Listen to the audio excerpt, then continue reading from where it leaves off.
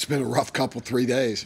It's been uh, it's been fun being back on the field. Certainly, uh, with this group, with uh, you know so many expectations. Uh, but you know the thing you have to guard against is, you know, we we were in a different position a year ago, trying to find our way as a defense and as a team, and now everybody's patting you on the back and tell you how good you are, and we hadn't played really a game. So, you know, it's something you got to protect yourself and, and certainly players, um, you know, that played well a year ago. There's no guarantee you have to make yourself, um, you know, a better player, a better team, and a better defense. And certainly that's our goal. Uh, but you know, you to me, expectations are met uh, when you uh, make sure your work habits match those expectations, and uh, that's what you know we have to get back to uh, the things that are going to make us better, you know, as a team, and and certainly. Um, you know, there's signs that you know that we, we can be a better defense than we were a year ago. But again, it's a whole nother year. Uh, we have to start from the ground zero and and work this group uh, into a, a, position that can consistently compete every time we step on the field, and where our our discipline, our attitude, our effort, and our technique will carry us through 12, 13 games, and and that's the attitude that we have to have, and really strive to be as as good as we can be, and. Uh, I could see a little bit of that, you know, creeped in uh, over the summer, and uh, we haven't been. It's early, but uh, we haven't been as good as we need to be. I was was hoping for more early on, but um, you know it's early. We we have to knock some rust off and and get back back out there and uh, have that same hunger and desire that we had a year ago. And that's that's probably my biggest fear as a defensive coordinator is that. Uh, you you become complacent, and there's no place for that in football. If you do that, you're going to get slapped, and it'll happen quickly uh, and and we need to make sure we're not uh, taking anything for granted. Uh, you know, this year with with so many positives and nine returning starters and all that, the way we ended, you know, last year, and have that same hunger and desire. That's really what makes you great, you know, as a team and uh, striving to be the best. And and there's a lot of room for improvement. Even as good at times we were a year ago, there's a there's a lot of room to to improve. So why are you losing your voice? You screaming, screaming at him early? And it's just out of practice. It's been, I've been out of, it's been three months almost, so a little rusty. Um, it's always like that getting back into camp. From the time you returned to where you are now, did you get, did you know you'd get here this quickly? So much expectation? That's that's hard to answer because you know, each year is so different. Um, we, we've been a different team all three years. Uh, our styles have really changed, you know, the, the first year to the second.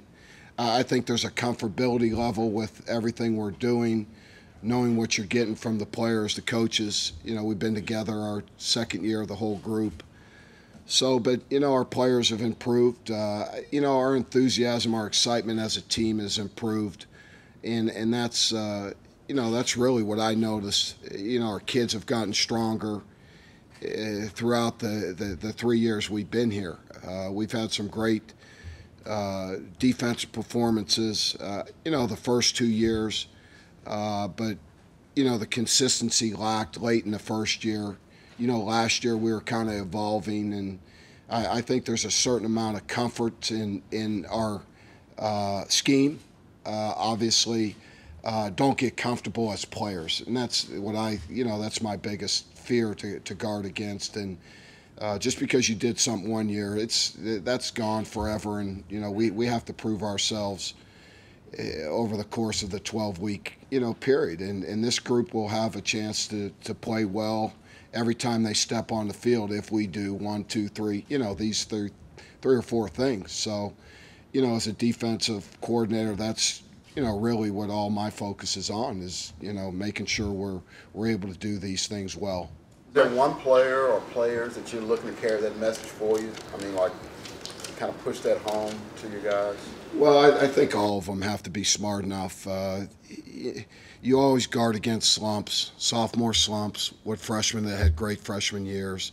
That's just something you have to you have to guard against. And you know, I don't, um, you know, I don't see that, but you know, it can happen. And and that's when people start telling you how good you are. That's my biggest fear. I mean, we, you know, everyone, everyone's in first place right now. You know, I mean, there's everybody thinks they're the best team in the country right now and and that's kind of you know we have to prove ourselves. We have to impose our will on people every time we step on the field, and that's really what you know I want this group to look at the big picture. They're they're you know look at where it's going to take you if you do you know the, the capabilities you have, and uh, like I said, it only takes one slip up and you'll get you know you, you'll be wondering what happened. What do, you, what do you feel is the strength of your defense right now? I I think just our overall group. I, I think, uh, I think our linebackers, but I, I just you know our D line has improved. I, I like our secondary. There's there's a lot of strengths. I, I think at every level of our defense, we feel very confident in our players. It's probably the most complete group of 11 players that we've put on the field in the last three years. So, you know that part of it. You know we feel very comfortable about our depth uh, across the board. Uh, and we've added some, you know, some new players that I think will will make us even stronger. So uh, there's no one. Again, I think our strength is our experience. Uh, I think it's our uh, experience across the board and our, you know, our physical maturity that we've gotten bigger and stronger. Those nine guys that started a year ago, and you throw Julian in there, that's ten guys that have really started. Um, you know, as a group, we're replacing one safety. You know, we're replacing a great corner, and you know, obviously Aaron. Uh, but you know, we're really just replacing one starter. So this group has played a, a lot of football. The You said most you saw in the scheme, uh, how much did that grow during the practice leading up to Sugar Bowl? Words, you went through a 12-game season. Did that, during that practice for the Sugar Bowl, did that help you with those guys gaining some confidence?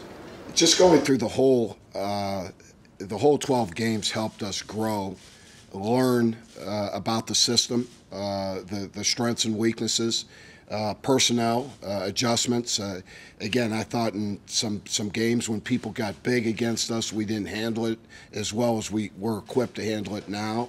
We had to make some personnel adjustments. Uh, when you played with Wilson and Striker on the field, we were playing almost with six DBs, and that just wasn't fair to our players. And we got pushed around, and obviously the Texas game, and certainly Notre Dame at times we got pushed around.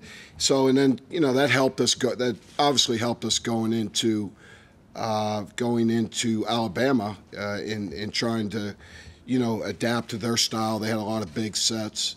So, you know, we, we had, had originally put this system in to handle the spread. Then everyone got big on us, and, and we had to adjust again to, to the big sets and people, you know, put, trying to be physical with us. So, uh, again, I, I think that was a learning experience with the defense. Mike, it's no surprise that you say that uh, it's the most complete defense you've had in your three years here. Go, go back to your earlier days here. You had some good ones. How do you, from a comfort level, I think that's how you phrased it. Uh, I, you know, I think you have more confidence and trust that that comes with this group. Um, but you know, you don't want to take that for granted again. And uh, but this group is there's some similarities to the experience we brought back to some of those great defensive teams we put on the field. But those were some elite. Those were those were some elite players uh, that through the 2003 and two, three, you know, when you had Cody, Dvorak, Tommie Harris, Jonathan Jackson, Teddy Lehman. I mean, those are, you know, every guy went to the NFL. Um, you know, I don't know. All these guys will have an opportunity to go to the NFL, hopefully, but. You know, that was a pretty special group of players. Antonio Perkins, Dante Nicholson, everyone went. So, again, you know, we just have to wait and see. These, there's a lot of youth still in this team. I, I don't know if we're starting more than what one senior, two, uh, Q Hayes and uh, uh, Chuka Ndulue and Julian. That would be three, I think, of, of this group. Uh, only three off of this group. So, you know, the youth is you know, we're in a pretty good position. Our depth has improved across the board, and that, that's what's encouraging. Impressions of Stephen Steven is, you know, he's he's about as complete a player as I've seen this young, you know, in three days, that, you know, in a long time. There's a there's a lot that he he can do and do well at a very high speed. Obviously, his lack of experience, his knowledge isn't. He's seeing everything the way he needs to quite yet, but I, I've been impressed with his movements, uh, his ability to cover uh, and cover well. Um, his the game isn't too big for him. Is you know he handles things well. So uh, I've been um, pleasantly surprised that he is you know the player that I thought he was. And sometimes that isn't always the case. And in Steven's case, he's you know he's he's he's got a chance to be a great player if he continues to you know keep doing what he's doing. He was talking about how impressed he's been with Julian corner. Uh, Who does that kind of bring into the mix at nickel there if he stays at corner? Well, with that, then if then you put Q at nickel and you put uh, Hatari, Ahmad when we go five DBs, or Steven will be you know in the mix if he continues to, you know, show improvement. So it gives us a lot of flexibility. We still have plenty of, of inside safeties. Mike, you made a, you made a bunch of big plays against Alabama. You also gave up a lot of big plays against Alabama. Is, is that a sign of what we can expect? I mean, is it going to be a boom and bust, or are you going to be able to keep up the big plays for your defense and minimize the big plays for the for the good offenses you play? You know, I, I, I think that's you know where the consistency improves and you know our awareness uh, on the field uh, improves. So that's that's where we need to get better, and and that we were very inconsistent. I thought, you know, certainly at times, but uh, we were good last year on third down, and that was a big deal. You know, for us uh, in this in this league, in the teams we play, you're going to give up some some plays. We we have to stay aggressive, and that's the the, the beauty of that game.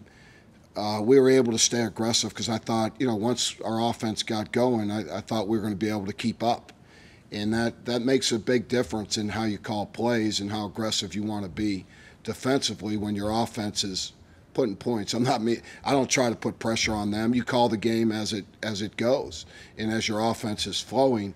And sometimes it gets hard when you're in you know tight games. You you don't want to take a lot of chances if you're playing good defense.